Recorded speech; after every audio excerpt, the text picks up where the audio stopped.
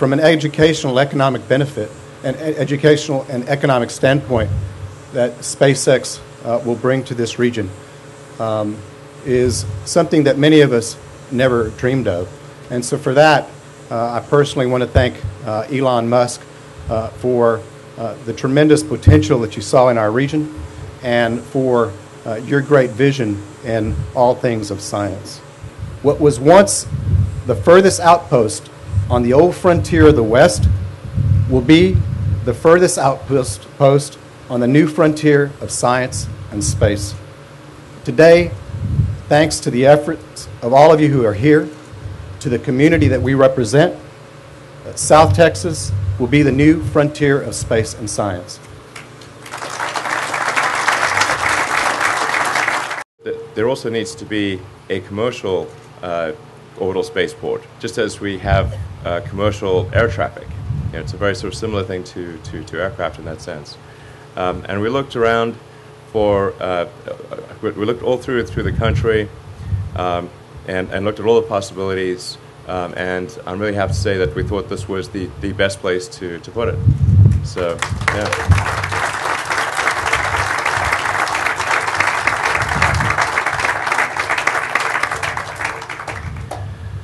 So that's, uh, that's what we're doing. This is just uh, the, the, sort of um, you know, initial groundbreaking. Uh, it's going to take uh, several years to build out a spaceport because this, this is going to be quite a, a significant uh, building endeavor. Um, in the in, what's in, in, what's near term for SpaceX, which is I guess sort of in the three to four year time frame, uh, we expect to, to spend you know on the order of about hundred million dollars. But in the long term, if you go out, say, 10, 20 years, it's probably in the several hundred million dollar range um, because we're going to keep expanding the facility. There will be other companies that also locate here to support uh, SpaceX because you end up creating a, an ecosystem of companies.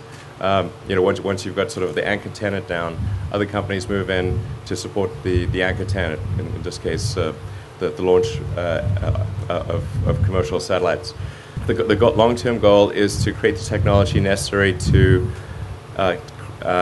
take humanity beyond Earth, to take humanity to Mars, and establish a base on Mars.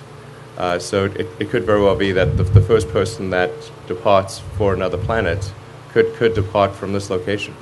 So.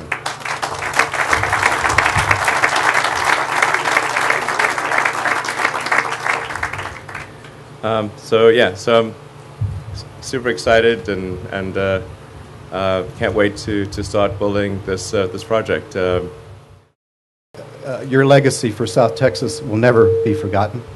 Um,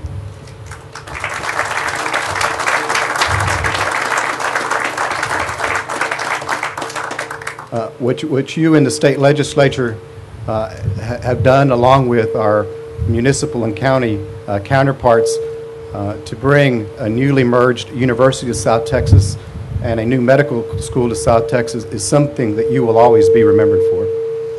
And I thank you for that. There's a sign behind me that says that the pavement ends in a thousand feet. But the future of South Texas takes off right behind me. And that's what today is really all about. When you think about this project and what it means for the state of Texas and for the nation, and frankly for the world, then we start to see just how important Texas and the Rio Grande Valley is in that makeup. What's going on here today is just building upon the pioneer spirit. You, you mentioned the, uh, the, the, this was the frontier at one time, and it's the frontier again. And the pioneer heritage of this state and, and our tradition of thinking bigger, uh, dreaming bolder, daring to do the impossible. Elon, the impossible is, after all, just something a Texan hadn't tried to do yet. That's how we define impossible. Francisco Cigarroa is here representing the University of Texas system. And the fertile minds that reside in that system and the gift that the state of Texas is making to this region with that university and with the medical school uh, Eddie and Renee, that we both worked together to create. The commitment to this area of the state, I think, is unparalleled in the history of this state because we've recognized together the potential of the people.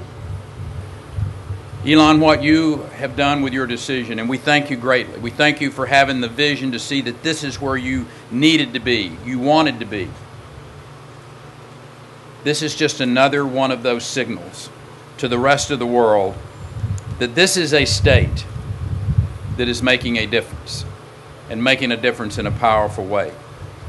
Francisco, I would just go ahead and make the announcement today that uh, in partnership with the great University of Texas in Brownsville, the Emerging Technology Fund will invest $4.4 million in the development of new technologies to be used at this spaceport and beyond.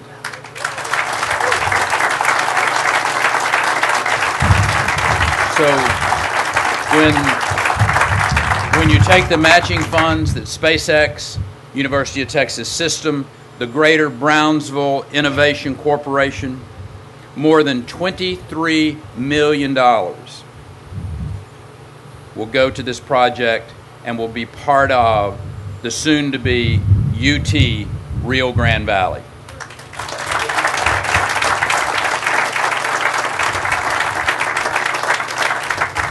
There is some there is some young student in the sixth grade